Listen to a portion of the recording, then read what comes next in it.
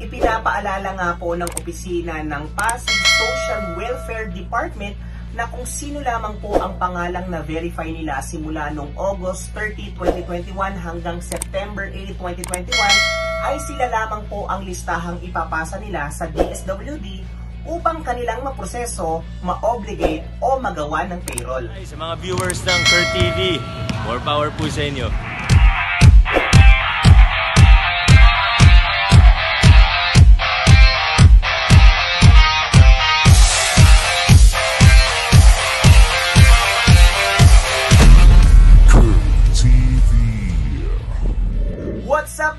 Mga TV Natics? Welcome back to my channel and for our today's video, ang pag-uusapan na nga po natin ngayon ay may kinalaman na sa third post ng verified list of beneficiaries ng DSWD sub second tranche unserved.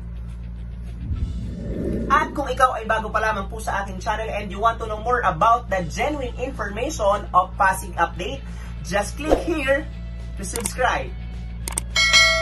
Kaya naman narito na nga po ang partial list, updated and verified list of beneficiaries ng DSWD sub second tranche unserved kaugnay po sa ipinost ng Pasig PIO nitong nakaraang September 5, 2021 na kung saan ay kinakailangang mag-post o kinakailangang magsagot ng mga beneficiary sa Google form na ipinost po nila.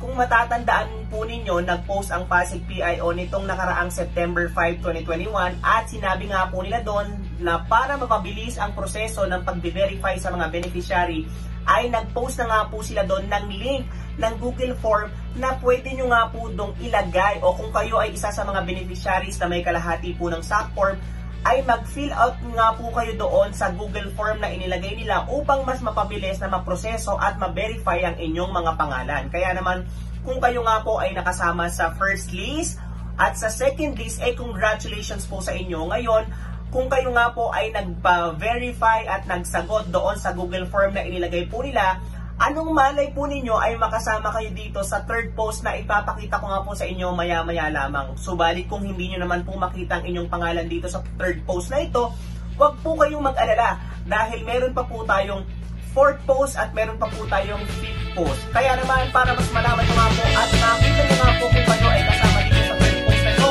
let's all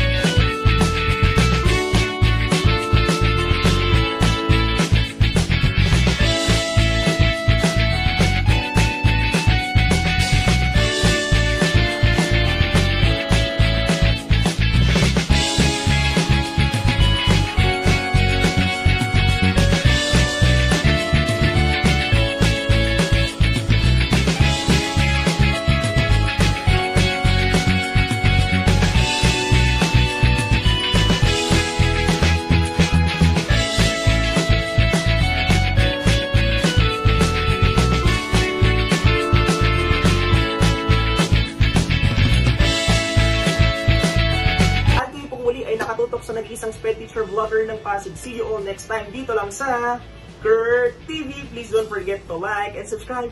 Bye-bye!